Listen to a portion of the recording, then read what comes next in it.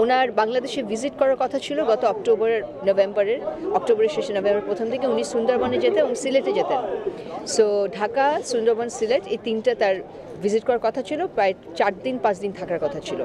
তো ভিজিটটি যেহেতু ক্যান্সেল হয়েছে এ- আজকে আমি জিজ্ঞেস করেছি আমাকে নিজে থেকে বলছেন যে ইনশাল্লাহ উনি যাবেন। আমি বললাম ইনশাল্লাহ যাবেন। উনি বললেন হ্যাঁ ইনশাআল্লাহ যাব?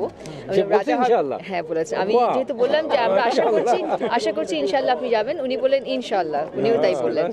তো যেটা হচ্ছে ওনার খুব রানী কামিলারও ওনার সাথে আমাদের কয়দিন আগে দেখা হয়েছিল ওই ডামফ্রিজ হাউসে রাজার সাথে। তখন উনি বললেন যে বাংলাদেশের সুন্দরবনের বায়োডাইভার্সিটি ক্লাইমেট চেঞ্জ এবং বাংলাদেশের রেডিমেড গার্মেন্ট এটাকে উনি খুবই অ্যাপ্রিসিয়েট করেন যে সাস্টেইনেবলি আমরা যে গ্রিন গার্মেন্ট ফ্যাক্টরিজ আছে, এই সব কিছু উনি দেখতে চান। ওনার গার্মেন্ট ফ্যাক্টরিও দেখতে যাওয়ার কথা ছিল।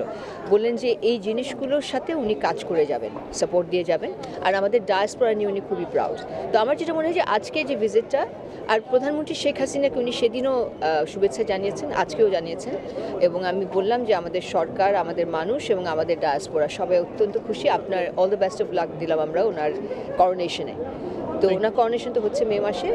অত্যন্ত হৃদয়স্পর্শী ছিল এবং আমাদের ব্রিটিশ বাংলাদেশি কমিউনিটি এখানে আশেপাশে যে স্কুলের ছোটো বাচ্চারা আসে, সবাই এখানে যখন তাকে গ্রিট করছিল he was truly truly happy কারণ রাজা যখন কোথাও যান সেখানে যদি সাধারণ মানুষ এসে রাজাকে তাদের ভালোবাসা দেখায় এটা হচ্ছে রাজার সাকসেস তার মা খুব পপুলার ছিল এবং আজকে প্রমাণ হলো যে ব্রিটিশ বাংলাদেশি কমিউনিটি রাজাকে ভালোবাসে রাজা তাদেরকে ভালোবাসে। আপনি কি বাংলাদেশ সম্পর্কে কোনো কিছু বলেছেন আজকে রাজাকে? বাংলাদেশ সম্পর্কে ওনার সঙ্গে তো আমার সবসময় দেখা হচ্ছে। আপনি জানেন যে আমি এখানে রাষ্ট্রদূত হয়ে আসার পরে রাজ পরিবারের সাথে আগে সম্পর্কটা ছিল না রয়্যাল হাউস হোল্ড যেটাকে বলে। তো সব জায়গায় আমি ওনার অফিসের সাথেই যোগাযোগ করি এবং ব্রিটিশ এশিয়ান ট্রাস্ট এটি ইন্ডিয়া পাকিস্তান নেপালে কাজ করছিল কিন্তু বাংলাদেশে ছিল না। তো ওনার ব্রিটিশ এশিয়ান ট্রাস্টে দেওয়া থেকে আমি প্রস্তাব করি যে বাংলাদেশে চ্যাপ্টার খুলতে হবে। তো দু হাজার উনিশে প্রথম আমি আসার পর তখন এটা খোলা হয়।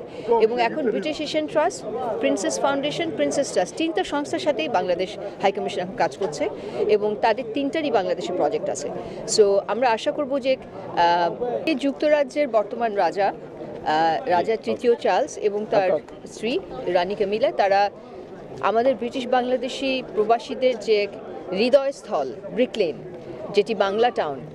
এবং আলতাবালি, শহীদ আলতাবালি পার্ক, এই দুটো জায়গায় এসেছিলেন এবং তার রাজা হওয়ার আগেই, তার করোনেশন হওয়ার আগে এই সময়টা ইন্টারমিডিয়েট সময়টা উনি যে বাংলাদেশি ব্রিটিশ কমিউনিকে যে ভালোবাসা দেখিয়েছেন, যে কমিটমেন্ট দেখিয়েছেন আমাদের প্রতি এবং যে অ্যাটাচমেন্ট দেখিয়েছেন, এটা খুবই এক্সট্রাঅর্ডিনারি ছিল। এটা অত্যন্ত হৃদয়স্পর্শী ছিল এবং আমাদের ব্রিটিশ বাংলাদেশি কমিউনিটি এখানে আশেপাশে যে স্কুলের ছোট বাচ্চারা আসে, সবাই এখানে যখন তাকে গ্রিট করছিল he was truly truly happy কারণ রাজা যখন কোথাও যান, সেখানে যদি সাধারণ মানুষ এসে রাজাকে তাদের ভালোবাসা দেখায়। এটা হচ্ছে রাজার সাকসেস